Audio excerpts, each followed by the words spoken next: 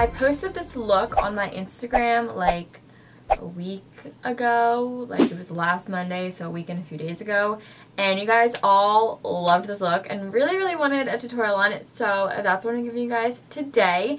Um, I saw this look, oh my gosh, I forget her Instagram account, but I'm going to have it right here. And like every time I'm like low on inspo, I literally look at her Instagram account because I'm obsessed with it. And it's really, really good, so you guys should go follow it. But she posted a look that had like purples and then a dark lip, and I was like really into it. So I wanted to do it for myself. I also I also think I look really like political right now. But I swear to God, if I see one more political thing, I might just have to like. So we're not gonna talk about politics. But anyway, this is like a really I was gonna say simple look. It's not very simple. I mean like anyone can do it. It's pretty like the steps are really easy to follow. It looks kind of complicated, but it's not. But it's not like everyday daytime. You know, it's like I'm going to an event. My makeup's gonna make a pop Hi, it's me, Tori, editing right now. What did I mean make a pop? I meant make a statement. Okay, gotta go, bye. Like, this is what it's gonna be. So, like, this is like a statement makeup, I would say, in my opinion. Like, I would wear this if I want people to, like, look at my makeup. You know what I mean? Um, if I wanted to, like, emphasize, like, a dress or something, I wouldn't wear this. If I had, like, a really bomb hairstyle, I probably wouldn't wear this because, like, the main focus is the makeup. Even with my hair down in this look, it, like, they compete with one another. So I always have to pull my hair back with this look. It's really, it just really wants to be an, an attention whore and take the star of the show. Um, so with that being said, it's really fun to do. I think the outcome is really gorge. Every time I do it, I like it more and more. It's just a really fun look. So be sure to follow my Instagram because I do post daily makeup pictures on there and I'm really liking how it's looking right now. So be sure to go follow it. Make sure to subscribe so you guys can join the family. So right down here, I got it this time. It's over here. So um, be sure to subscribe and that way you won't miss any other videos. So without further ado, let's get on to the tutorial. Hello, it me. I'm going to be using tape for this method because I think it's just easier. And you know, if I can make my life easier, I am going to. So I'm just taping the edges of my eyes to have the edges be a little bit more clean cut. Here's where I went in with mistake number one. I did not prime my eyes, and you can see right here that I just remembered. Go me. So here I'm just using the Kevyn Aucoin Skin Enhancer Concealer, and I'm just setting that with a cream beige shadow from the Lorac Pro palette. Now going back with the palette, I'm taking the shade Mauve, which was like the first shade that I showed you before I realized I messed up and didn't prime my eyes. And I'm putting this in my crease and I'm basically just applying this above where my lid ideally would be. Um, so I'm sort of turning my brush on like an upward angle so that I kind of can create a cut crease for myself. And then I'm going with, in with a clean to 24. Also, look at this angle of me. It looks like I'm a little kid trying to get in like a good picture. I don't know, I thought that was really funny. Anyway, I'm taking a clean to 24 and I'm just like buffing out the very edges of that mauve shade. Now I'm going to go in with Sable, also from the Lorac Pro palette. I'm really horrible at showing shade names. Like I honestly suck. I need to get better at it. And I'm using a MAC 222 and I am putting this into my ideal crease. When I say like ideal crease, I mean like I'm kind of making myself like a cut crease. So I'm just putting it where I want my eye to look very sunken in. This is more of like a shading process. It's going to gradually get darker as we continue to add shades. And then I'm going back in with 217 that had that mauve, mauve. I 2016, still don't know how to say that word, shade on my brush and I'm just buffing that all together. Then I'm going to take a pencil brush and I'm mixing espresso and black and I am putting this in the part of my crease that I want to look the deepest and the most sunken in and like the most cut crease. This is kind of like a rough draft of this. Oh my god, I'm literally so sorry.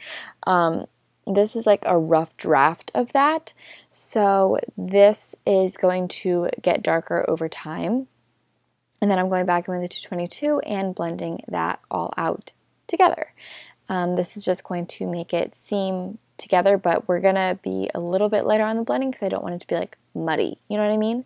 This is MAC's Violet Pigment, and also it looks like I've never filmed a makeup tutorial in my life because of these angles coming up. So sorry, deepest apologies. Um, but this is Violet by MAC. It's a pigment.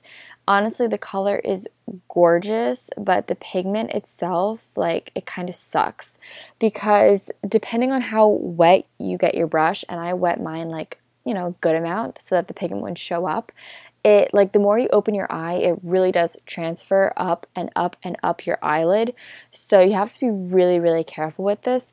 I mean, on the eye I'm doing now, I significantly wet my brush more, and that eye transferred a ton more than my other eye. So the wetter your brush, the more it's going to transfer, but the more dry your brush is, the less pigment payoff you're going to get if you know, if you guys know what I mean. So whatever. After I cut my crease with that shade, I'm ripping the tape off, and you can see I'm pretty pleased right here. I'm um, going in with the Tarteist eyeliner. And this is a funny story. Okay, so my hand is shaking vigorously. So doing eyeliner today was like super hard and I'll tell you why my hand's shaking so much. It's because my mom like sent me a huge box of quinoa Yes, quinoa. And I went to go pick it up at the mail center at my campus, which is like on the other end of campus. And it was so heavy that my arms were still shaking after carrying it like 15 minutes later. So now I'm going to go in with foundation after do my eyeliner. And this is the Makeup Forever HD Foundation Stix. Like I said in my last video, I'm not crazy about this foundation for like everyday long wearing, longevity, whatever. Um, but I think the color payoff, what am I saying? I think the pigmentation, I think the coverage is beautiful and it photographs really, really nicely. And I did take some pictures after this for my Instagram. Go follow it. Also, if you guys don't make that double chin when you are blending your foundation, um, I think you're doing it wrong. So I highly recommend to try it. I'm just kidding, but honestly, try it. It really does work. Um, this is the Kevyn Aucoin Skin Enhancer again. I'm using this under my eyes for concealer. I really do apologize for these angles. I know that they're horrible. Um, break is coming up, so trust me, I can film videos in my studio again, and I cannot wait. So now I'm going to go in with the LA Girl Pro Concealer, and I'm going to apply this to my nose to slim it down and contouring a little bit. I've been loving to contour my nose just because I've been taking pictures every day and I think it looks better in pictures. I'm also going to be carving out my cheekbones and I'm going to place this on my forehead. This like kind of bronzes me up a little bit and sculpts me out a little bit because when you're this pale, you need it. Also, it is so annoying because throughout the tutorial I realized I did not blend a little speck on my temple as much as I should. And trust me, it really, really bothers me while I'm editing this. Um, can we appreciate this product shot right here? Wow, A plus YouTuber, go me. Anyway, this is the Neutrogena Micro Skin Clearing Powder. And I'm just applying this all over my face to set. These are the Ardell Studio Effect lashes, and they I like doubled them up so that they could be like a little bit more intense. I already have put the glue on the lashes. I wait literally like five minutes to put the lashes on after I put the glue on. So I'm putting mascara on, and you see, I literally ripped out all my eyelashes for my extensions. Then I do my brows completely, which is literally like a four minute routine the whole shebang the gel, the dip brow, the brow definer, everything. And then I put the lashes on. And even before I put the lashes on, I still blow on them because I like that glue to be super, super tacky. It really makes it so much easier to do your lashes. So, uh, yeah, once your lashes are on, um, I you see here like you can see how the pigment sort of transfers a little bit and that really sucks because the other eye looks really good but this eye kind of looks like shit, so sorry about that. Now I'm going to go in and I'm going to smoke out the lower lash line.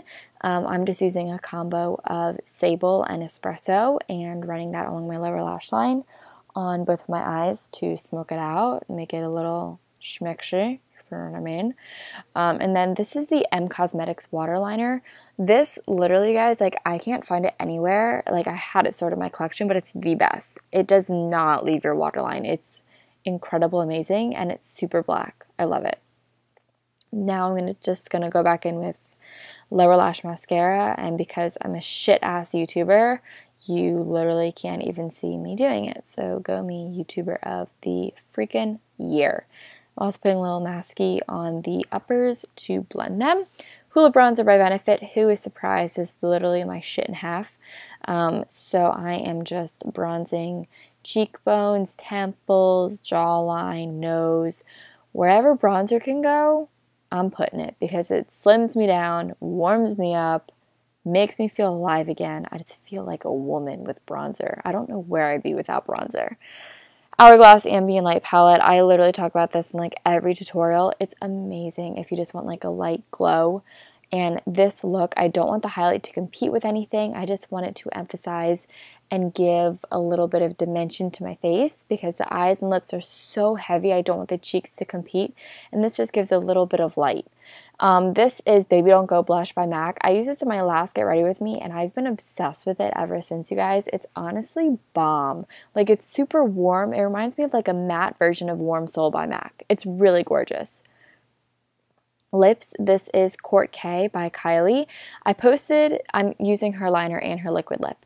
Um, I posted a picture of this look like a week and a half ago, and my one friend Katie commented and asked why my Kourt K doesn't look streaky and hers does. Um, it's a picture, so I was able to like smooth it out and kind of like hide the fact that it was streaky. But my Kourt K is super, super streaky, as you can see here. Um, I kind of do the one rule that you're not supposed to do. I blot my lips, but it was an accident. But it's really, really streaky. Also on camera, it's coming up like kind of red, but I swear it's like a dark purple. Um, but yeah, anyway, the look is now done. Kourt K is on. See, this is it with the hair down. I just think it doesn't work as well. So yeah, I really hope you guys all enjoy this video. Be sure to subscribe, comment down below. I love you all so, so, so much. Bye.